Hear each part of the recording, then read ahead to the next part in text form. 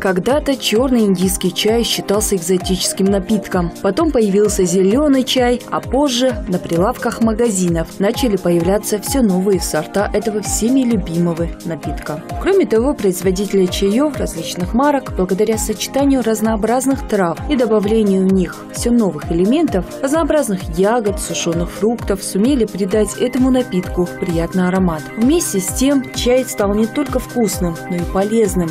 Хади Балхаева помнит, что 4 года назад она и подумать не могла, что чай может быть в таком широком ассортименте, как сегодня, до 100 сортов. Первый чай это был сказки Шахризада, мы его заказали на пробу. А, я его заказывала для себя, и после того, как попробовала, я поняла, что стоит заказать, завести. Это чистый зеленый чай был сенча с добавлением ягод и фруктов. Конечно, люди, отдающие предпочтение традиционному черному чаю, экзотическим сортам и соединениям различных трав, относятся с долей скептицизма. Их надо попробовать, чтобы понять, нравится или нет. То есть бывают некоторые добавки мои, другие как-то не очень. Мне нравятся ягоды, в основном вот чаи с ягодами. Это очень вкусно, советую. Самым популярным среди любителей этого напитка является зеленый чай, а благодаря различным травяным добавкам он приобретает самые разнообразные вкусовые оттенки примеру, мы нашли такие травяные чаи, как волшебный манго, куда входит зеленый чай с гибискусом, лепестками розы, подсолнечника, цветами мальвы, васильком, кусочками ананаса и фруктово-ягодным ароматом. Или же сказочный, тоже зеленый чай, только уже с добавлением вишни, кусочками клубники и лепестками роз. Аромат и вправду сказочный. И вы точно уже не пробовали чай «Золото падишаха», в состав которого входит порох, кусочки ананаса и лепестки роз. Но есть такие чаи, которые может удивить самого искусственного искушенного человека, который встречался с самыми необычными вкусами этого напитка. Это чай 8 сокровищ линия. Вот так он выглядит. Здесь основе идет чай сенчи зеленый. И далее манго, а, ананас, ну и цветочные добавки в виде софлора.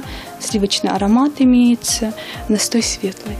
В последние годы стало популярным использовать травяные чаи для лечения и улучшения самочувствия. К примеру, а, чай молочный улун – это зеленый чай, он связанный, очень хорошо способствует при похудании. Если у вас проблемы с обменом веществ, э, вам советуется этот чай утром, вечером, это на ваш выбор, помогает. Привлекает современные чаи не только сочетанием различных трав и дивным ароматом, но и названиями. Они очень часто броские и запоминающиеся. Чего стоит нектар Афродиты, персидские сказки, венский вальс, граф Калиостро. Далее есть чай, к примеру, нектар Афродиты. Здесь уже основа сенча, ромашка, клубника. А, очень хорошо подходят а, как на утренний прием чай «Венецианская ночь» с добавлением смородины, малины, клубники и лепестками роз. Это чай классический черный асам, и далее тут идут уже добавки.